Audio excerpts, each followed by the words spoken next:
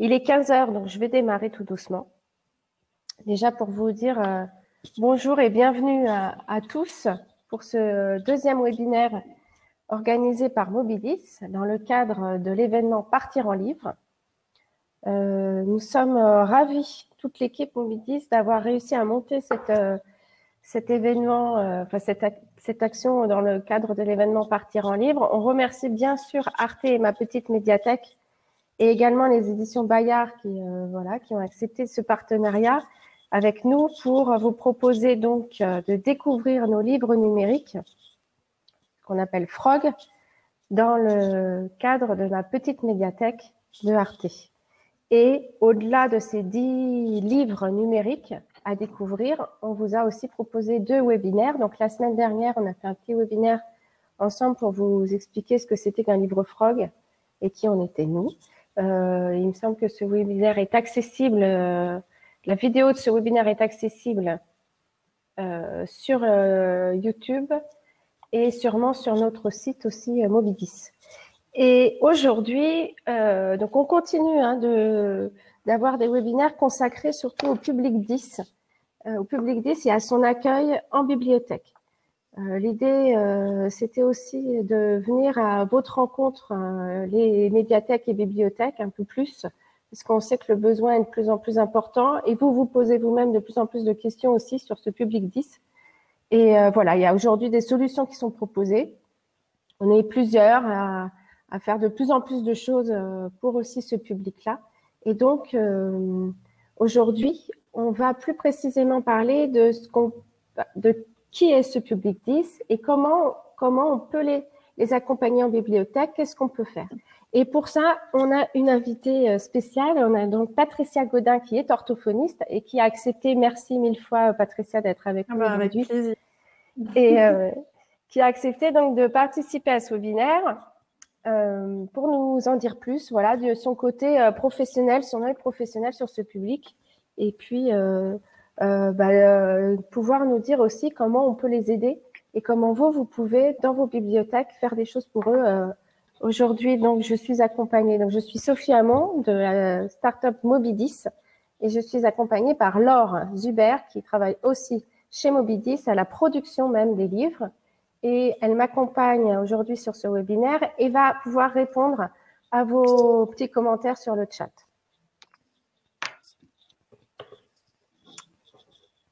Voilà. Alors, je commence. Vous voyez, il y a des, vous avez normalement des petits visuels. Là, je vous ai mis en gros le petit visuel pour avoir un support, un PDF. Ce PDF sera aussi disponible si vous, voulez, si vous le souhaitez à, la fin du webinaire. On pourra vous l'envoyer. Il suffit juste de nous envoyer un petit mail pour nous le demander si vous avez besoin de récupérer cette présentation. Euh, donc, on va faire une petite interview de Patricia. je vais essayer aussi de vous présenter quand même les aides de lecture qui sont présentes dans nos livres Frog. Et après, on aura un petit temps d'échange et de questions ensemble. Un petit mot pour, nous dire, pour vous dire qui nous sommes, nous, Mobidis, parce que vous ne connaissez pas forcément. On est une start-up nantaise qui est spécialisée dans les solutions numériques euh, pour vraiment aider le jeune public dyslexique à lire, à accéder à la lecture on a inventé un format numérique de livre, un format d'EPUB 3 qui s'appelle Frog. Et c'est donc un livre numérique qui intègre automatiquement des aménagements du texte sans les modifier. L'idée de Modibilis, c'est donc d'adapter les livres existants pour le compte des éditeurs. Donc, euh, ils ont leurs livres classiques qui sortent et nous, on les adapte dans un format numérique avec des outils d'aide à la lecture pour les rendre pour les rendre accessibles à tous. À côté de ça, on construit du coup aussi des offres de bibliothèques personnalisées pour les associations et les institutions. Et dans ce cadre-là, dans notre développement, on réfléchit à plus tard, justement, monter une bibliothèque spécialisée pour vous, les bibliothèques, en proposant différents livres numériques. 10. C'est pour nous Mobidis. Patricia euh, Godin, euh, ben, je, vais vous, laisser vous présenter. Vous nous dites un mot sur qui vous êtes et ce que vous faites au quotidien. Et puis après, on peut reprendre, euh, on va essayer de prendre une tournure de questions-réponses pour, que je vous oriente. Alors, bonjour à tous. moi, je suis Patricia Godin, une orthophoniste qui travaille depuis Un petit moment, une bonne vingtaine d'années.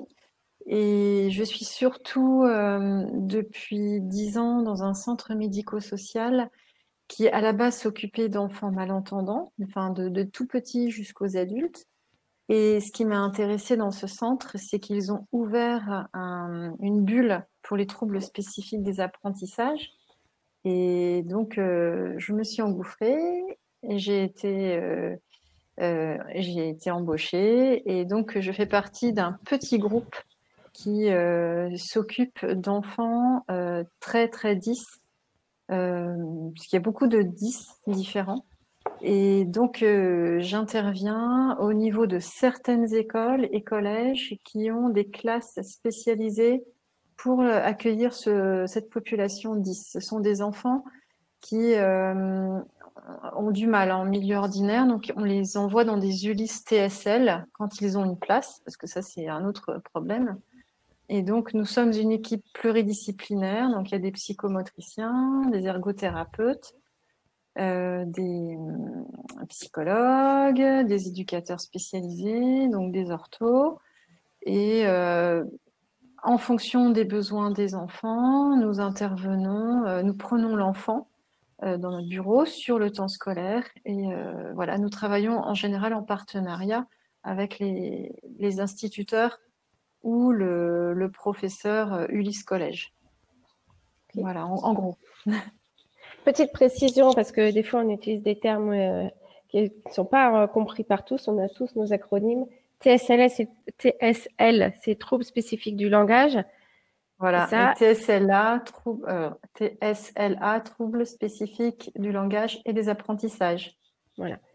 Et derrière ce terme-là, du coup, on va commencer par ça. Ça serait bien si vous pouviez nous expliquer bah justement peut-être ce qu'on entend par les troubles spécifiques du langage et des apprentissages, ou mm. dit les troubles 10. Alors, il ne s'agit pas de peut-être faire quelque chose de trop expert, mais on comprenne, je, voilà, je vais être tout le monde vous inquiétez pas. C'est exactement ça, c'est l'idée, c'est que tout le monde comprenne bien un peu plus ce trouble et qu'on se contente pas de se dire, bah tiens, dyslexie, ça veut dire qu'il inverse les lettres.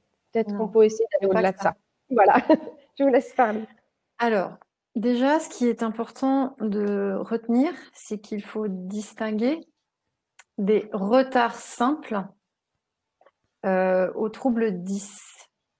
Euh, des enfants de CP peuvent avoir des retards simples liés à une méthode d'apprentissage. Ce sont des retards qui vont se résorber dans le temps. C'est-à-dire que l'enfant, s'il a des difficultés à l'entrée euh, de la lecture, il va euh, progressivement rattraper ce retard sur l'année. Ça va se rattraper. Un enfant qui est 10, en général, enfin nous professionnels, on le, on le sent, enfin ça se sent même dès la maternelle ce sont des enfants qui, ont, qui auront toujours un décalage avec les autres. On dit en général un décalage de deux ans. C'est-à-dire qu'on va mettre en place euh, des aides, euh, mais ils resteront 10 toute leur vie. Et il y aura tout le temps ce, dysfonctionnement, cette difficulté, euh, voilà, qui fera un peu leur spécificité. Ce sont les, les, les 10. Alors 10, j'ai une fois dans ma vie, j'ai vu un, enfant dyslexique pur. La, dyslexie, c'est un trouble qui euh, atteint la lecture, l'acquisition de la lecture. Donc l'acquisition ne se fait pas euh, correctement, c'est trop difficile. Euh, en général, les enfants, les personnes 10 ont un faisceau de, de troubles 10. Donc vous avez la dyslexie qui atteint la lecture, vous avez la dysorthographie qui en général fait suite à la dyslexie, c'est-à-dire des, gros soucis pour euh, retenir les, règles grammaticales, pour euh, retenir la conjugaison, pour avoir une bonne mémoire orthographique. Donc ça va atteindre l'écrit. Il y a la dysphasie. Alors la dysphasie, c'est un dysfonctionnement du langage oral alors, euh, c'est encore, c'est une belle vacherie, la dysphasie, parce que ce sont des enfants, il y a différents degrés de sévérité, mais ce sont des enfants pour qui la construction du langage oral français n'est pas euh, spontanée. Donc, pour les cas les plus sévères, il va falloir, un peu comme avec des malentendants, on va construire le langage, souvent avec des pictogrammes. Ça se fait, hein, mais il faut vraiment avoir un bon encadrement de ces enfants-là. Il y a des enfants qui vont aussi être dyspraxiques, ça touche les gestes, dysexécutifs, ceux qui vont avoir du mal à, mettre en place des stratégies, à s'organiser, à planifier, il y, a, toujours un faisceau de petites choses. Donc finalement, quand on a un enfant 10, euh, ce qui est très important, c'est qu'une bonne équipe essaye euh, déjà d'avoir l'anamnèse et d'avoir un peu l'historique de cet enfant, de voir comment il a évolué, d'avoir le retour des enseignants, et puis aussi de faire un bilan le plus complet possible pour faire un peu la photo de cet enfant et l'aider au mieux. voilà en gros. alors, il y a une chose qui est très importante, parce que je suis très fière de mes patients 10. Euh, je, suis vraiment attachée à eux parce que ce sont des enfants extrêmement euh, courageux. Euh, ces enfants-là sont déclarés 10 parce qu'il n'y a pas de déficience intellectuelle. Voilà, ça c'est impératif. S'il y a une déficience intellectuelle, donc il faut faire un bilan neuropsy ou psy, dans ces cas-là, on est dans une autre catégorie. Euh, mais les enfants 10 n'ont pas de, déficience intellectuelle. Et euh, je dirais par ailleurs qu'ils développent euh, d'autres qualités que nous n'avons pas. Voilà. Donc ce sont voilà.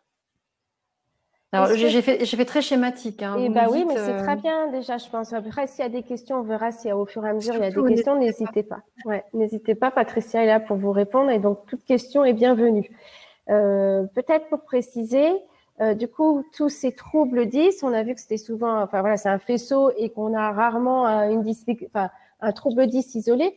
Euh, par rapport à la lecture et au texte écrit, quelles peuvent être les difficultés de ce public? Alors, au-delà, enfin, pas forcément le dyslexique, mais d'un point de vue un peu large des 10, quelle, quelle est leur difficulté face à l'écrit concrètement? Même si on a peut-être 15 000, je ne sais pas. Peut-être peut, que vous pouvez nous aider là-dessus à comprendre un petit peu. Bien sûr. Alors déjà, il faut vérifier les yeux. Règle numéro 1. Enfin, nous, les orthophonistes, on fait toujours vérifier les oreilles et les yeux. Euh, ensuite, il faut faire, euh, euh, vérifier l'acuité visuelle avec un ophtalmo et aussi, ce qui peut être très intéressant, si vous avez un enfant qui a tendance à sauter les lignes ou à passer des mots ou à oublier des syllabes, euh, demander à un, bilan orthoptique neurovisuel. L'orthopsie, c'est euh, ce qui permet de, voir comment travaille la caméra des yeux. Quand on lit, en fait, on lit par saccade. On s'en rend pas compte, ça va très très vite. Mais on lit en général trois lettres par trois lettres. Et ça va très très vite. Et finalement, quand on arrive au bout du mot, on ne se rend pas compte, mais pouf, c'est un mot qu'on connaît. Ça renvoie à notre cerveau un sens et on avance comme ça. Alors que eux, enfin, certains enfants qui ont des problèmes euh, donc neurovisuels déjà, ça, c'est une partie de la dyslexie. Les enfants dyslexiques sont comme ça. Euh, ce sont des enfants qui, vont faire euh, des allers-retours, mais, mais pas réguliers. Ils vont partir trop loin. Après, ils vont revenir en arrière. Ça, sans s'en rendre compte, mais au niveau des yeux, ça ne va pas être très coordonné, ce qui signifie qu'ils vont se lancer dans la lecture d'un mot et ça ne voudra rien dire. Donc déjà, euh, il peut y avoir des enfants qui ont des soucis de euh, comment dire de de visualisation ou d'accroche euh, attentionnel voilà. ils ont du mal à faire ces saccades régulières donc mm. déjà ça s'ils ont besoin d'un bilan orthoptique neurovisuel hein, c'est pas faire loucher hein, c'est vraiment neurovisuel ça ça peut les aider alors ensuite, comme type de dyslexie, ben, un enfant qui est dyslexique, il y a différents degrés de sévérité. Alors nous, quand nous faisons passer nos tests, nous savons qu'un enfant est diagnostiqué, euh, entre guillemets, pathologique quand il est à moins 2 écart type, voire pire. Donc on peut très bien avoir des enfants qui font les épreuves de lecture et de dictée qui sont à euh, moins 1,75 ou moins 2,5 en général. Et quand il faut lire, ils vont un peu rechigner, mais ils vont s'accrocher et ils vont lire. Mais ça va être un peu compliqué. Lire oralement ou lire aussi euh, mentalement? C'est-à-dire avoir. ils ont un problème de lecture quand il faut oraliser le texte ou aussi euh, tout simplement dans leur tête quand ils. vous voyez ce que je veux dire? Est-ce qu'il y a une Alors, la lecture, la compréhension, c'est ça? Ouais. La lecture. Lire, ils vont certainement lire en accrochant. Et la compréhension, alors ça, c'est encore autre chose. C'est très compliqué pour eux parce que euh, ce sont des enfants qui mettent toute leur énergie pour essayer de déchiffrer.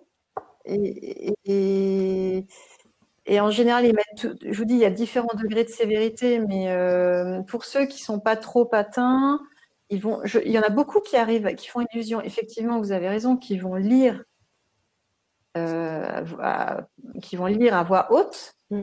en prenant plus ou moins leur temps, parce que c'est compliqué, en respectant plus ou moins la ponctuation moi, je la mets en couleur, la ponctuation, hein, parce que je leur dis, c'est comme le code de la route. Si tu ne la respectes pas, tu ne vas pas comprendre. Donc, euh, c'est des enfants qui souvent font un peu illusion parce qu'ils arrivent à, à peu près à lire, mais alors là, la compréhension, elle, est souvent absente. Ils comprennent pas. Ils mettent toute leur énergie dans le déchiffrage. Euh, sinon, alors les patients que j'ai, moi, qui, sont, qui auraient plutôt tendance à être vers moins 7 écart type, euh, quand on leur met un texte sous les yeux, euh, là, il y en a qui pleurent, quoi. Donc c'est très douloureux. Mm. Donc après, on met en place des stratégies. On, cache le, on cache le texte ou alors on va agrandir les lettres. On, voit avec eux ce qui leur convient le mieux. Évidemment, on travaille en amont les, les graphies, les petites écritures qui sont compliquées pour eux. On peut même séparer les syllabes en mettant des couleurs différentes, mais il y a un gros travail à faire justement pour les réconcilier avec euh, la, la reconnaissance des sons. Parce qu'en dyslexie, il y a deux, je dirais en gros, en gros, il y a deux types de dyslexie. Mais il y en a qui ont les deux en même temps. Mm. Moi, j'ai souvent des enfants qui ont les deux en même temps. Il y a, alors, quand vous lisez, pour bien lire, si je vous mets un mot, par exemple, euh, je vous mets euh, euh, canapé.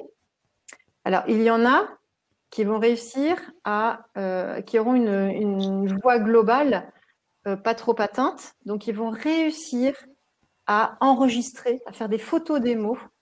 Et ils vont réussir à se faire un petit stock quand même dans leur tête de mots et ils vont vraiment faire illusion.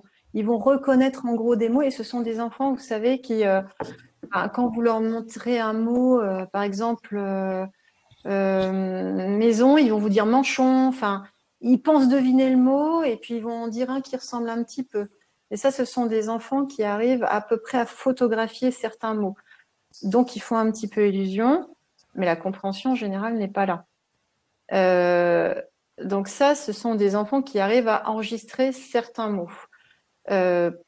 Pour aussi arriver à bien lire, il faut non seulement reconnaître des mots pour se faire un stock de mots interne, mais il faut aussi être capable de passer par la voie syllabique, c'est-à-dire savoir que ben, un que et un a, ça va faire k. Euh, un n et un a, ça va faire na. Et que k et, voilà, et associer les syllabes entre elles. Et au bout du compte, eh ben, on associe plusieurs syllabes, on s'arrête et ah, ça va faire canapé. Et qu'est-ce que ça veut dire?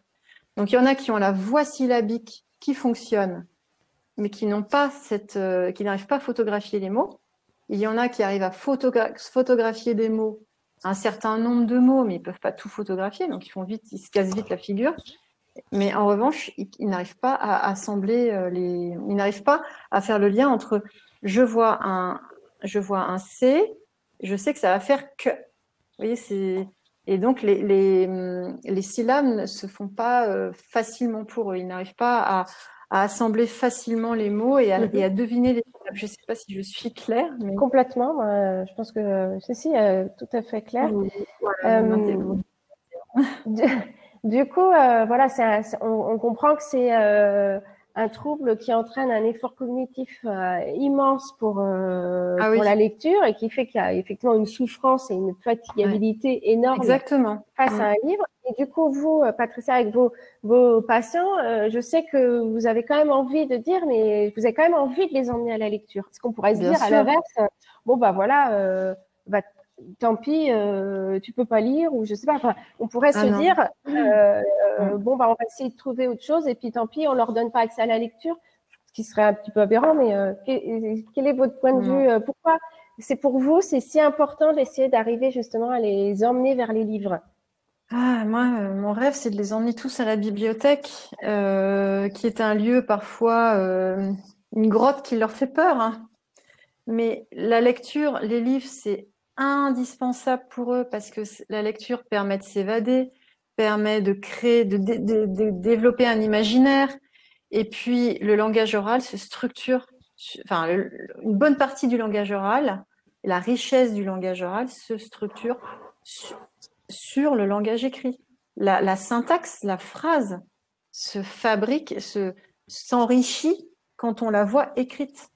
Donc, euh, ce sont des enfants qui souvent ont des, justement des problèmes, des dysorthographies, des problèmes euh, euh, de grammaire, d'accords grammaticaux, tout ça. Mais moi, il faut vraiment prendre leur temps de leur expliquer à quoi servent les mots, quelle est leur nature dans la phrase. La lecture, c'est quelque chose qui se, comprend. Les mots, c'est, ça, ça, les mots se mettent les uns après les autres et c'est pas pas pour rien. Enfin, ça se construit, la phrase se construit, et les enfants ont absolument de besoin de voir de l'écrit pour euh, pour améliorer leur langage oral. Mmh. Au niveau syntaxique, euh, mais au niveau du lexique aussi. Et au niveau du lexique, bien sûr, et puis l'imaginaire. Mmh. Et puis c'est et puis c'est c'est la culture, euh, les livres. Enfin, c'est, ils sont en marge après ces enfants-là. Et alors, est-ce qu'ils sont demandeurs? Est-ce que vos patients, ils ont, euh, ou est-ce que euh, trop de souffrance fait que oh non, ils aiment pas ça les livres, ou est-ce que vous en avez quand même qui se disent ah j'aimerais bien. Enfin, quel est leur rapport comme ça aux livres? Et, comment du coup, toujours dans ce contexte de bibliothèque, voilà, on les emmène dans la bibliothèque, on peut arriver à à leur montrer ou à, leur montrer que le livre c'est aussi du plaisir malgré la souffrance qu'ils ont. Comment vous voyez ce que je veux dire? Alors il y a beaucoup de, de petits, moi je vois les CP, CE1 qui euh, aiment beaucoup mes imagiers. Donc déjà ça c'est bien d'avoir de, de, leur montrer des imagiers. Sinon, ceux pour qui, ceux qui commencent à entrer dans le décodage, dans le déchiffrage, qui commencent à lire, sont très heureux et très fiers d'arriver à, lire des petits livres, mais des livres un peu adaptés à eux, toujours avec des graphies un peu plus grosses, avec des interlignes, peut-être avec des couleurs. Donc, ils sont très fiers et très heureux. Mais ça se dégrade très vite euh, dès qu'on passe au CM1, CM2, alors là, le collège. Là, ils sont dépassés et la bibliothèque, enfin, les livres euh, deviennent des, vraies tortures pour eux. Et, euh, et c'est dommage. C'est vraiment malheureux parce que quand on creuse un peu, souvent, je, je, remarque mes patients, ils me disent, parce que j'aime bien partir de thèmes qu'ils aiment. Euh, il me dit souvent, euh, je sais pas, ça ne m'intéresse pas. Mais en fait, c'est parce qu'ils ont peur. Mm. Et une fois qu'on met en place des aides, qu'on essaye de voir ce qui peut les aider à déchiffrer, à mieux lire, ou, ben, ils sont heureux, quoi. Ils prennent du plaisir, ils deviennent beaucoup plus heureux. Alors peut-être que tout à l'heure, euh, au moment des échanges, on aura euh, euh, parmi, euh, parmi vous des bibliothécaires qui nous diront un petit peu euh, si elles ont, si elles rencontrent ou pas ce public et si ce public est demandeur ou pas de, de livres. Mais peut-être pour continuer ça, c'est-à-dire, ça y est, on est dans la bibliothèque, les enfants arrivent, vos petits patients ils arrivent, vous avez réussi à les emmener à la bibliothèque. Comment les bibliothécaires qui nous écoutent pourraient les aider, les accompagner Je sais que vous avez pas mal d'idées sur un petit peu mmh. Euh, voilà, comment on pourrait euh, proposer des choses pour justement euh, qu'ils se sentent aussi concernés, quoi, qu'ils qui sentent que les gens sont là pour eux aussi. Alors, un truc que j'ai remarqué, on en parlait, c'est que que ce soit au collège ou ailleurs, les aides visuelles sont précieuses pour eux.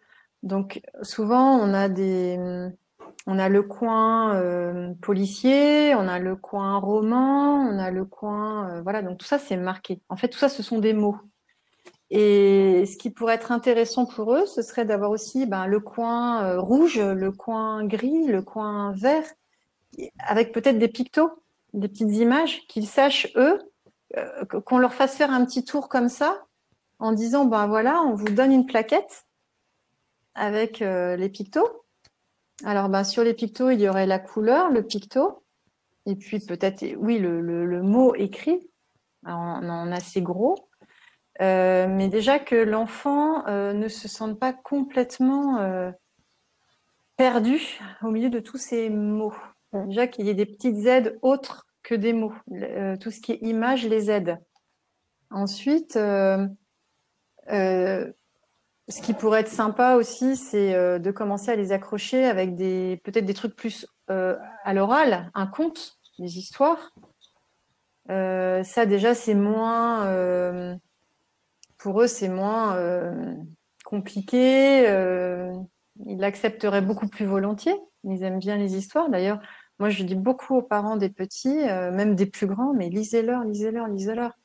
Aidez-les en lisant des histoires. Il faut qu'ils entendent des histoires. Euh, voilà. Et puis, euh, moi, ce que je demanderais tout de suite à l'enfant, mais c'est, mais qu'est-ce que, qu'est-ce que vous, tu aimes? Quel est ton thème préféré? Il y en a beaucoup qui aiment l'espace. Il y en a beaucoup qui aiment, voilà. Donc peut-être les orienter vers des, je sais pas, des, des endroits de la bibliothèque un peu pour eux. Et puis après, il faudrait réfléchir ensemble à des choses plus adaptées. Peut-être, oui, des lectures plus adaptées. Il y a des livres adaptés, mais euh, là, là, les livres audio, pourquoi pas Franchement, pourquoi pas Parce que ça, ça, les ferait revenir euh, à la bibliothèque, je pense. Avec notre aide, hein. on les mm. pousserait. Hein. Oui, vous aviez dit ça euh, quand on avait échangé toutes les deux, cette idée de aussi euh, faire venir, alors peut-être sûrement à des événements particuliers, euh, des journées pour les 10 ou des choses comme ça, mais faire venir euh, soit les enseignants, soit les ergothérapeutes, les orthophonistes, à venir avec leurs patients dans la bibliothèque autour d'un événement pour justement aussi donner vie à ce lieu et que les familles découvrent aussi ce lieu. Je rebondis, il y avait une question sur la... Est-ce qu'il y, avait une, il y a une corrélation entre les troubles 10 et les situations socio-économiques? Est-ce qu'il y a des études qui ont été faites là-dessus? Est-ce que vous avez une réponse à apporter euh, sur ce point? Alors, effectivement, euh, parmi mes patients, je dirais que 95% de la population est, euh, est une population avec des carences. donc, ce sont des enfants de familles plutôt pauvres. Donc oui, moi je me suis aussi beaucoup posé la question et je pense que euh, lorsqu'il y a un milieu euh, social et culturel un petit peu plus porteur, peut-être que les parents peuvent un peu plus euh, emmener leurs enfants dans des musées, dans, leurs enfants dans des musées ou, ou, les ouvrir un petit peu plus à la culture ou leur lire peut-être plus de livres, je sais pas, il y a peut-être quelque chose, mais alors c'est peut-être le travail de remédiation qui est fait dans ces familles là, peut-être, qui est peut-être plus forte, mais pas forcément la présence du trouble en lui-même qui peut toucher normalement tout milieu, mais euh, alors, bah ça c'est moi ma petite opinion. Hein. C'est alors mon opinion à moi, c'est que euh, bon, il y a à peu près euh, allez, 10% de la population qui est 10. Donc ça fait quand même pas mal. Et c'est vrai que les, les, personnes, moi je vois hein, les, les, enfants 10 qui pourtant ont du potentiel, hein, ils sont bien intelligents. Alors avec notre système français, souvent ils vont vers des métiers qui ne sont peut-être pas à la hauteur de ce qu'ils pourraient faire.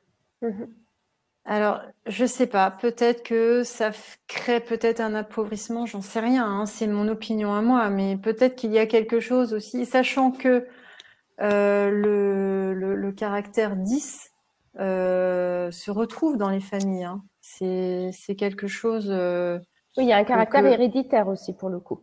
bah voilà, on en retrouve souvent chez les parents ou les grands-parents. Voilà. Donc, voilà, c'est souvent les, personnes 10, malheureusement, et un grand malheureusement, mm. euh, n'ont pas assez d'aide pour aller loin euh, professionnellement. Certains, certains le font parce qu'ils sont énormément épaulés, peut-être pas trop patins et puis vraiment aidés. Euh, il y a quelques écoles en France qui sont très bien, mais alors c'est un coût faramineux, donc tout le monde ne peut pas y aller. Mm. Euh, donc, c'est vrai qu'ils accèdent à des professions qui ne leur permettent pas d'avoir des salaires mirobolants. Quoi. ça, c'est mon constat. Hein.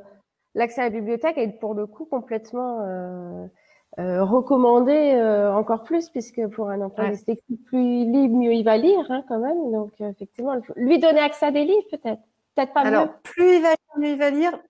Non, je pense que. Automatiser ah non, non. Alors ça, ce serait bien pour les enfants qui ont des retards simples. Mmh. un enfant dyslexique, déjà, il doit avoir une rééducation et surtout, il faut arriver à, à voir avec lui ce qui va l'aider à, à, mieux lire. Alors, euh, il y a des choses simples, hein. il, y a des, il y a des livres qui sont faits comme ça. Je vous dis, c'est vraiment euh, des caractères plus gros, des lettres un tout petit peu plus espacées, des mots un petit peu plus espacés, ou alors les syllabes euh, avec une alternance de couleurs de syllabe en syllabe. Donc, en fait, plus, je dirais, plus l'enfant 10 va trouver son, son mode facilitateur de lecture, plus il va avoir envie de, lire avec ce mode-là, et plus il va effectivement, il va réussir à un peu automatiser sa lecture, et, je l'espère surtout comprendre. Mmh. C'est ça, c'est le sens de la lecture. Mais c'est vrai, il faut vraiment chercher avec eux. Il y a, la rééducation d'une part.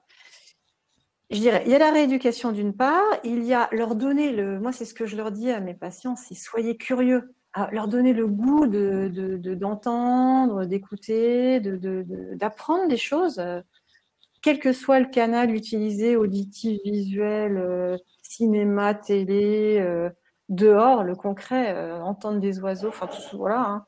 Toutes les sorties possibles et inimaginables, ça, ça ne peut leur faire que du bien parce que ça fait travailler la mémoire. Mmh j'en ai pas parlé, mais ce sont des enfants qui souvent ont un déficit de la mémoire de travail la mémoire, je fais une je vous explique rapidement. La mémoire de travail, c'est ce qui nous permet à nous, quand on lit une phrase, quand on lit une phrase, c'est quand on arrive au bout de la phrase, nous, nous sommes capables d'avoir compris la phrase. On n'a pas oublié ce qui était, le début, ce qui était au début.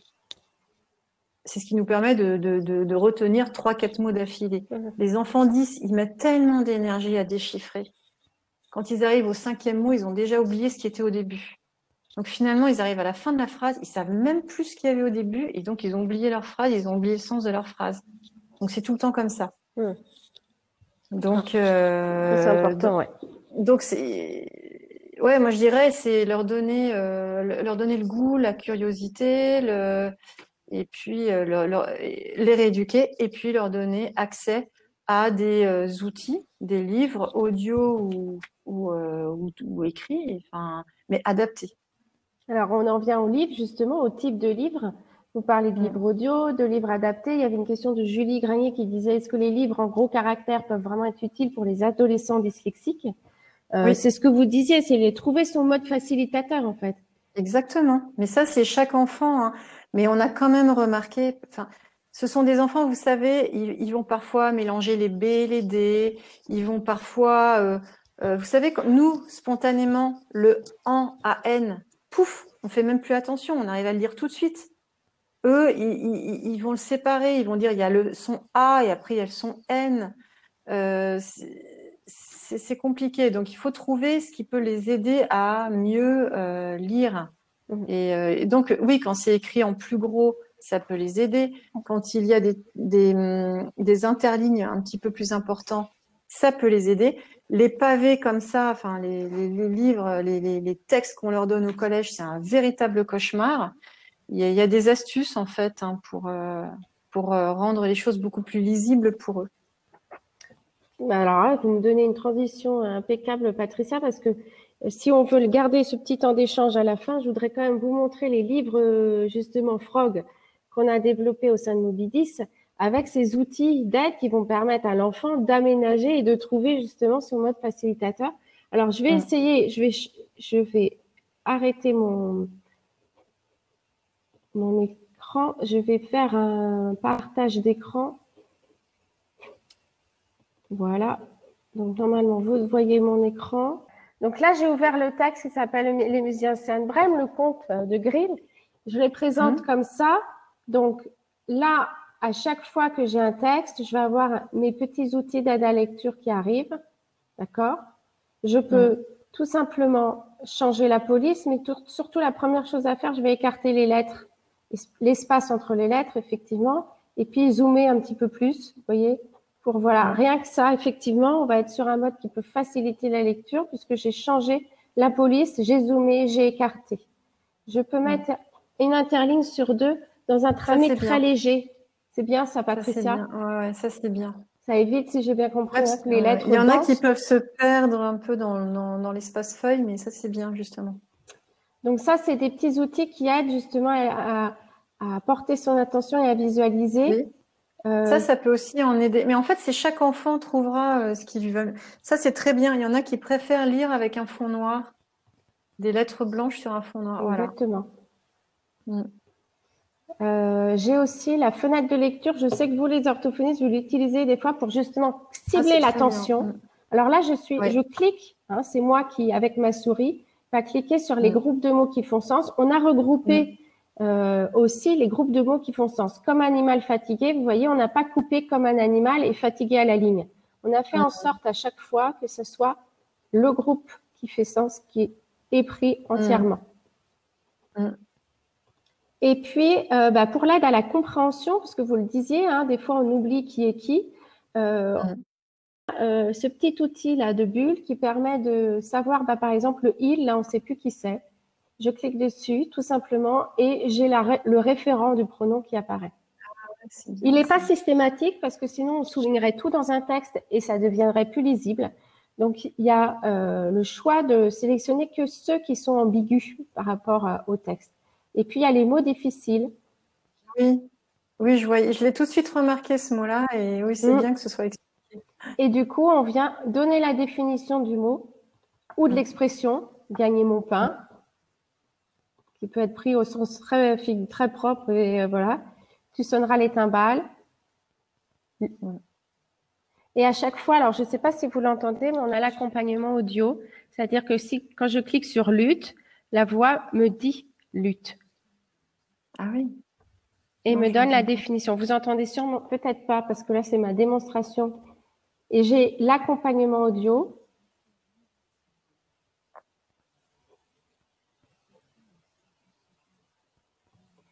Alors là, j'ai lancé euh, la lecture audio du texte. Tous nos textes sont intégralement lus par voix humaine et je peux écouter le livre, mais en fur et à mesure que je, alors au fur et à mesure que je l'écoute, que je le lis, pardon.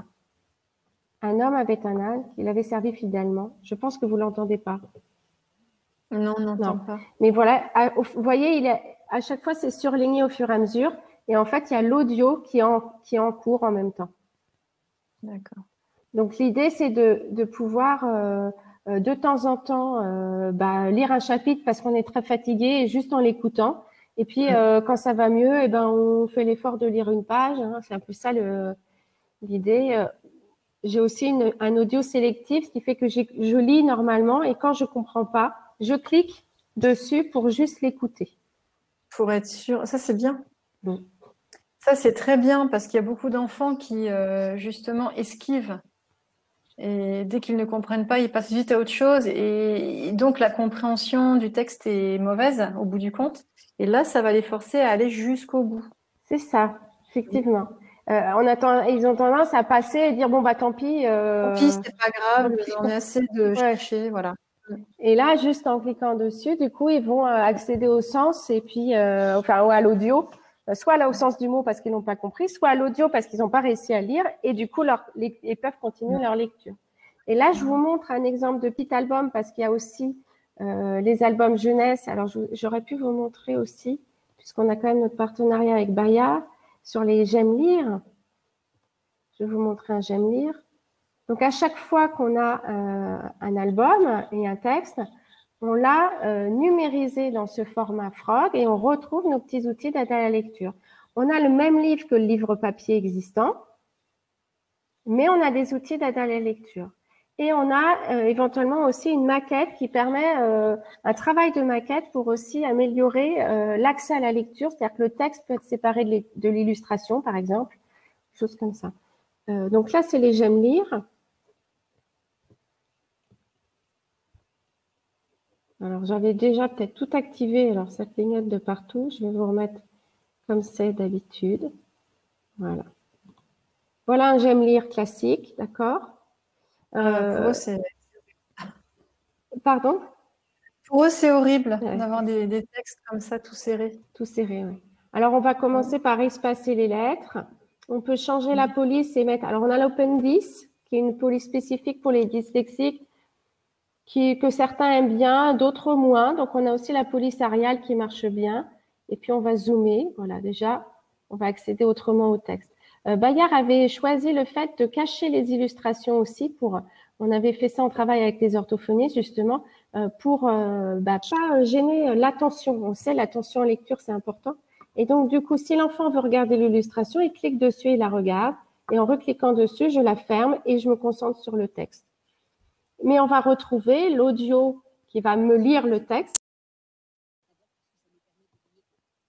Et puis, on a une interligne sur deux, la petite fenêtre de lecture, tous les outils que je vous ai montrés tout à l'heure sur le compte de Grimm. Je ne vous ai pas montré la petite règle de lecture aussi qui permet de suivre tout doucement au fur et à mesure de ma lecture. Et puis, euh, le dictionnaire. Vous avez parlé aussi, Patricia, tout à l'heure des couleurs. Oui, les syllabes. Ah, c'est très bien ça. Ce matin à l'école, on a grisé les lettres muettes. Il y a soit l'option soit l'option syllabe, soit l'option des sons, puisqu'effectivement, euh, alors je suis en train de chercher un ou ou un on, maigrichon, voilà, AI, ça fait est, et donc les deux sont à la même couleur rouge. O et N, ça fait un seul son on, et donc du coup, on a bien une couleur rouge. Donc, ça aussi, pour les premières lectures, c'est, ça peut être un mode facilitateur, comme vous disiez, de lecture. Et puis le contraste inversé qui effectivement peut marcher euh, aussi avec la mise à la couleur et dans un contraste inversé. Ouais, c'est bien parce que l'enfant peut un petit peu euh, euh, chercher sa propre, sa lecture la plus aisée, quoi. C'est ça. C'est vraiment personnalisé. Voilà pour la démonstration. Alors attendez, attendez, parce que vous n'allez rien voir du tout. Il faut que j'arrête le partage. Voilà. Et puis ici, je vais arrêter ça. Voilà pour la petite démonstration, voilà pour les exemples. Est-ce qu'on a depuis, il y a eu des réactions peut-être parce que ça ne marchait pas? Est-ce qu'il y a eu des questions? Ça va être le temps d'échange, on a un petit quart d'heure ensemble pour répondre aux questions. Patricia est là si vous voulez pour, euh, pour vous apporter des réponses. Profitez-en, vous n'avez peut-être pas tous les, tous, tous les jours rien de rencontrer d'orthophonistes pour euh, savoir. Il y avait une, question de Yasmina dans le chat. Oui. Euh, Yasmina de Chambéry qui nous dit qu'elle propose toujours de travailler avec le logiciel Zoom Text, qui est un grand-père de ce qu'on propose dans les livres Frog, et elle nous demande si on est, si on est d'accord. Si est-ce que vous, euh, vous êtes d'accord sur l'utilisation des logiciels qui permettent justement la mise en forme des textes ou le d'aménager les textes, de personnaliser les textes via un logiciel. Peut-être que vous le faites, Patricia, vous, des fois, sur euh, vos... Zoom Text, euh, je ne l'ai pas. Enfin, moi, je le fais sur, enfin, sur mon ordinateur. J'essaye d'aménager comme l'enfant euh, préfère, mais c'est-à-dire que l'enfant repart avec un, son livre sur logiciel, c'est ça? Et c'est zoomé, je... je pense qu'elle travaille son texte, c'est-à-dire qu'elle peut-être qu'elle va chercher le texte. Nous, c'est ce qu'on fait finalement, c'est de proposer des livres déjà tout prêts à être lus, avec juste, il suffit de cliquer pour que ça soit fait. Euh, au départ, euh, c'est vrai qu'il y, y, y a, ceux qui peuvent travailler et adapter les textes avec des logiciels. Du coup, bah, là, c'est du, du fait main, il faut aller chercher le texte et le travailler. Mais les logiciels d'adaptation qui vont proposer des choses similaires euh, peuvent être aussi euh, bah, intéressants. Ben déjà, bravo de faire l'effort de vous adapter au, à, l'enfant, aux jeunes, ça c'est formidable. Et euh, ben, si ça marche, pourquoi pas? Mais oui, effectivement, ils ont besoin d'adaptation, ça c'est sûr. Donc, du euh, coup, il y, a, y, a Elisabeth qui demande jusqu'à quel âge un jeune accepte d'utiliser l'imprégnation syllabique. Donc l'imprégnation syllabique, c'est de mettre les syllabes à la couleur. Ça, c'est, je dirais, c'est l'enfant qui le dira, c'est le jeune qui le dira. Moi, plus ça va, plus j'avance, plus je me dis, euh, je, pars du jeune et je construis avec lui. Et c'est lui qui va me dire euh, ce qu'il aide et ce qu'il aide moi. Et on met en place quelque part un menu euh, un peu spécifique à chacun. C'est moi, j'ai des collégiens qui utilisent encore l'imprégnation syllabique en troisième parce que ça les aide. Donc, on ne va pas se priver de choses qui les aident. Il n'y a pas de honte. Moi, ce que je veux, c'est qu'ils aient du plaisir à, déchiffrer et à comprendre et qu'ils s'évadent un peu. Très bien. Est-ce que du coup, vous pourriez, euh, comment continuer? Emeline nous pose la question, comment continuer à proposer des modes facilitateurs aux jeunes 10 une fois qu'ils sont arrivés à l'adolescence ou à l'âge adulte? Bah, Ça revient peut-être à ce que vous disiez, à partir du moment où le texte. Ben, en fait, l'idéal, moi, je, alors déjà, le jeune irait dans votre bibliothèque. Il a envie, il veut, il y va. Oui, il a envie de prendre un livre. Mm. L'adolescent, euh, voire le jeune adulte. Voilà. Alors après, il faudrait idéalement avoir un, c'est ça, un panel de, livres adaptés. Et ce qui est, c'est vrai que ce qui est génial avec ce système-là, là, euh, que vous aviez proposé, c'est, enfin, moi, ce que je trouve bien, parce que c'est un peu ce que je fais en orthophonie avec mes patients, c'est que, et en plus, c'est bien pour un adolescent parce qu'il est un peu autonome et il, fera comme il voudra. C'est le jeune qui va un petit peu euh, euh, trouver lui-même ce qui l'aide. Donc, il va euh, créer sa petite sauce pour accéder le plus facilement à la lecture et à la compréhension. S'il a besoin de passer par la par l'audio, par la lecture audio parce qu'il est fatigué et qu'il a envie de passer un bon moment, et ben pourquoi pas. Donc oui, il faut, il faut arriver à leur proposer. Euh, il y a des livres qui sont adaptés. Je crois qu'il y a aussi, il y a déjà des livres pour les adolescents aussi. Hein. Il y a des livres qui existent. En papier aussi. mais après, c'est figé. Ils sont bien, mais c'est figé.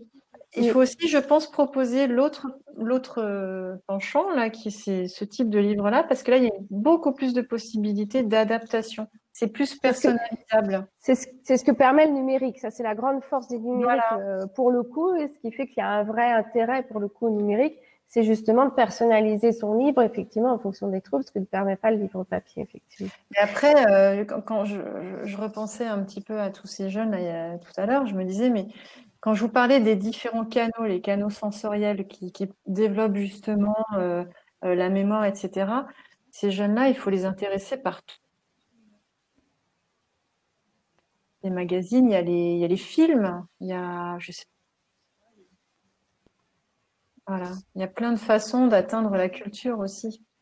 il y a une question intéressante aussi, euh, Patricia, peut-être sur euh, justement pour les bibliothécaires. Mm. les bibliothèques et les rangements, recommandez-vous de séparer les livres adaptés aux 10 ou de les identifier, euh, voilà, avec un picto ou quelque chose au milieu des collections? Est-ce qu'on fait une étagère séparée 10 ou est-ce que euh, on met les livres bah, peut-être dans la catégorie espace et mais avec peut-être une petite pastille pour dire tiens c'est un livre adapté. Vous avez un, avis là-dessus? C'est une très très bonne question. Il n'y a pas longtemps, j'ai visité une bibliothèque qui justement euh, dans ma région se met à se, met à, au livre pour les 10. Simplement, quand je suis rentrée, euh, je l'ai vite trouvé parce que c'était à un endroit précis de la bibliothèque. Ça prenait euh, toute une étagère. C'était écrit en énorme 10. Et sur chaque livre, c'était un gros tampon 10, 10, 10, 10. Et je me suis dit, euh, déjà que les pauvres, ils en ont marre d'avoir cette étiquette, 10. Euh, je trouvais ça un petit peu. Enfin, moi, je me suis dit, mince, c'est encore, encore violent, quoi, encore compliqué. Moi, je, serais plus pour, euh, on se disait là, un code, un code picto ou un code par thème. Euh, je sais pas, les romans policiers, les machins, a un code. Et puis, par exemple, pour les 10, dans, ce, un peu comme si vous faisiez un, plan de la bibliothèque, tel picto, tel code, ça correspond à ça. Ben, je sais pas, une étoile, une étoile rose euh, correspondrait euh, au, au, livre adapté 10. Alors après, est-ce qu'il faut tous les regrouper? Euh, peut-être que ça, pourrait être intéressant. Ça pourrait être intéressant, je pense, peut-être d'avoir une. Je ne sais pas si ça peut se faire, d'avoir un, truc tactile où ils puissent, eux, voir un peu dans leurs étoiles roses quel type de livre la bibliothèque a. Et après, mhm. de voir, bah tiens, euh, j'aime les avions. Euh, je, tape avion, je sais pas, avec mon étoile rose, est-ce qu'il y en a un? Et puis après, je sais avec le code couleur, enfin, je sais pas si je suis claire, mais que voilà que l'enfant sache que dans la bibliothèque, à tel endroit, aux sciences, le science, c'est va être par exemple le, coin un peu vert, il y aura sa petite étoile rose et ce sera son livre sur les avions. Voilà, comme ça, ça les stigmatise pas encore trop et ils peuvent se retrouver tout seuls. Ils peuvent s'y retrouver. Non? Oui, ça me paraît intéressant comme, euh, idée. Parce que je trouve que c'était génial, cette étagère de 10, c'était super, mais quand j'ai vu ce mot 10 en énorme et 10 partout, je me suis dit, mais ils ont envie d'être comme nous, quoi.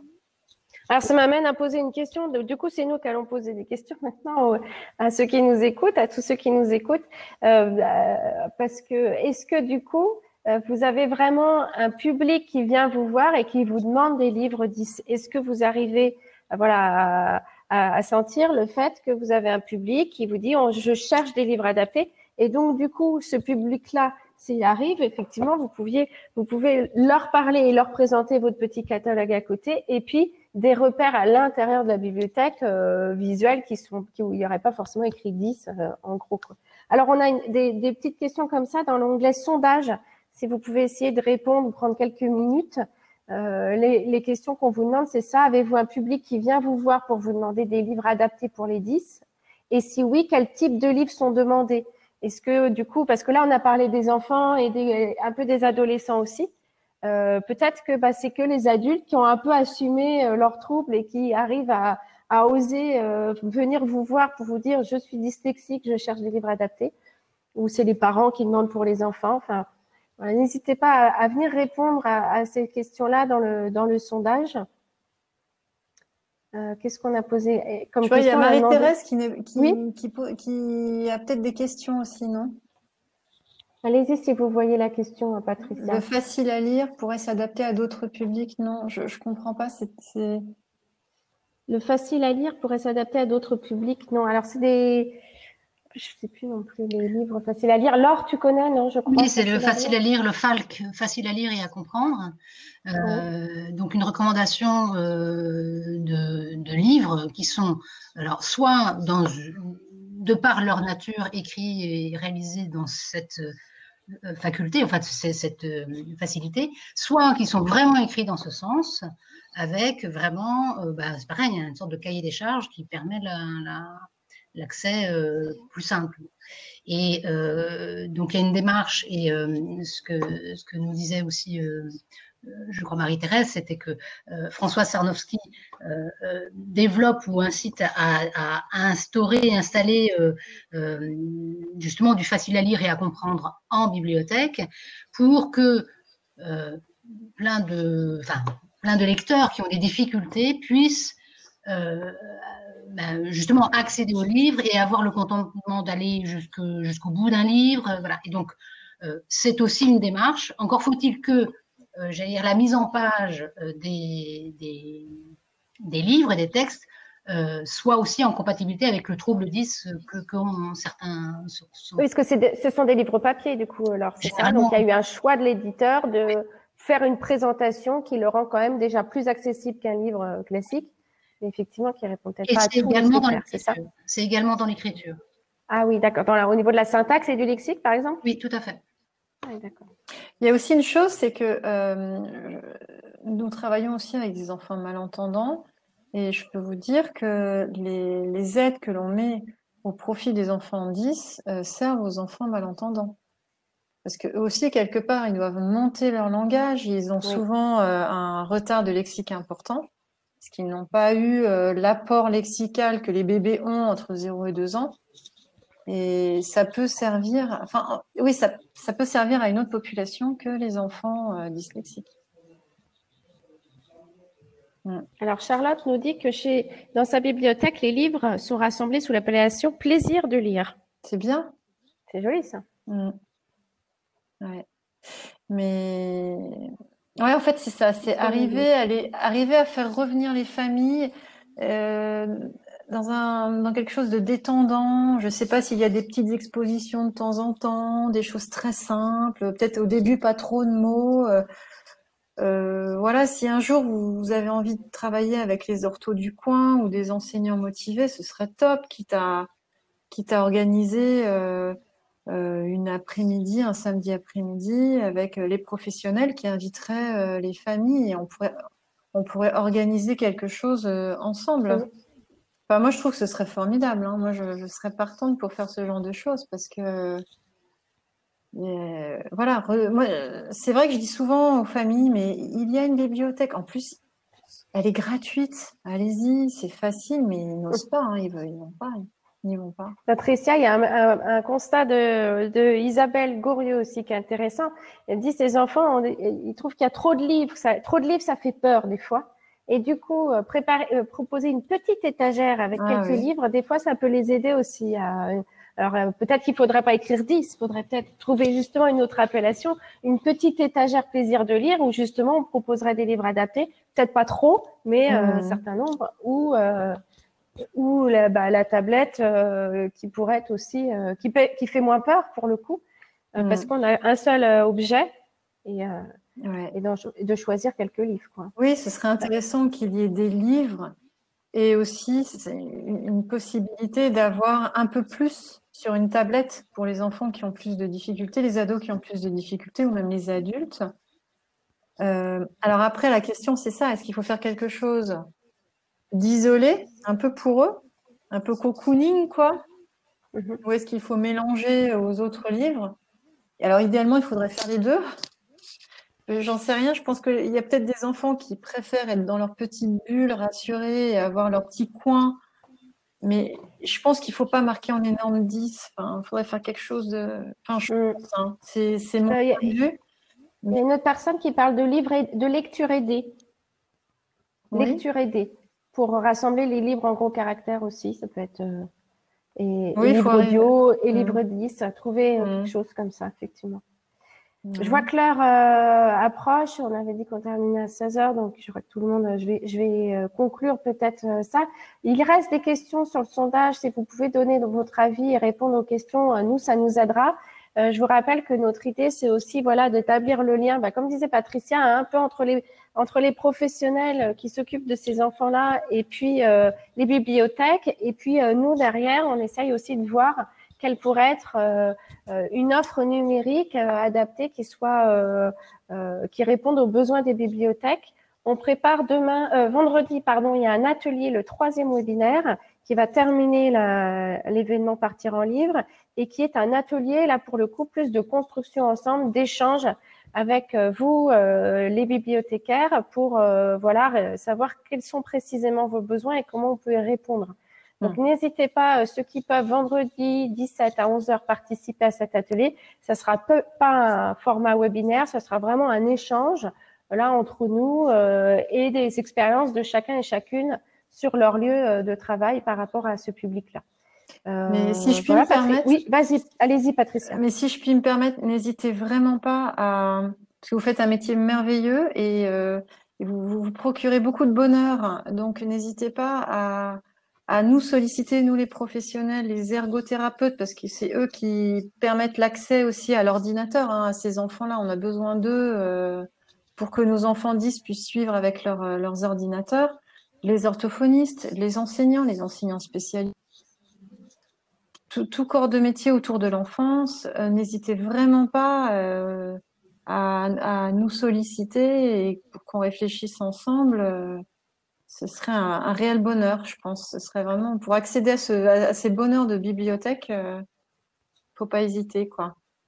Ah, c'est super, c'est un beau message pour terminer, c'est-à-dire euh, voilà, euh, trouvons des événements ensemble et, réunissons tout le monde à la bibliothèque pour justement ah faire découvrir bah, aux familles qui ne connaissent pas ce lieu qu'il y a plein de choses qui peuvent vraiment les aider aussi dans leurs troubles de dyslexie. Mmh. ou des euh, projections de films, ou des, je sais pas, des trucs comme ça, qui ne soient pas de la lecture, mais qui soient mmh. agréables.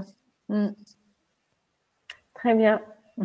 C'est bien, c'est bien dit, Patricia. Je pense que je pense que tout le monde a, euh, vous a entendu de ce côté-là et vu le nombre de personnes importantes qu'il y avait aujourd'hui, on sent qu'il y a vraiment une envie aussi du côté des bibliothèques de faire des choses, de proposer des choses à ce public. Mm. Euh, et, voilà, de les accueillir. Donc, euh, enfin voilà, on sent que vraiment euh, là, aux, réactions des, uns et des unes et des autres, on, sent, on sent ça. Donc, merci à vous tous et toutes d'avoir participé à, ce webinaire. Patricia, merci beaucoup. On aura d'autres occasions, voilà, de se voir. Mais merci en tout cas à vous tous. Et puis, bah, suivez le conseil de Patricia et puis faisons des choses ensemble, des événements. Nous, on est là aussi pour ça. C'est pour ça qu'on voulait faire partir en livre. C'est pour ça que voilà, on essaye de, de proposer des choses pour faire découvrir. Donc là, vous avez à disposition les livres numériques Frog aussi dans ma petite médiathèque. Si vous n'êtes pas abonné, vous pouvez envoyer un mail à, je sais, j'ai plus le mail, mais c'est ma petite médiathèque à Arte, euh, pour avoir gratuitement accès là, hein, tout le mois de juillet pour, à ces 10 livres. Donc, euh, même si vous n'êtes pas abonné à ma petite médiathèque, vous pouvez euh, gratuitement accéder à ces livres. Donc, euh, n'hésitez pas à faire découvrir tout ça à vos petits lecteurs et plus grands lecteurs, adolescents aussi, parce qu'il y a plein de choses à faire pour eux, mais c'est pas facile. en tout cas, merci beaucoup à tous. Au revoir. Au revoir. Patricia. À bientôt. Au revoir. Au revoir.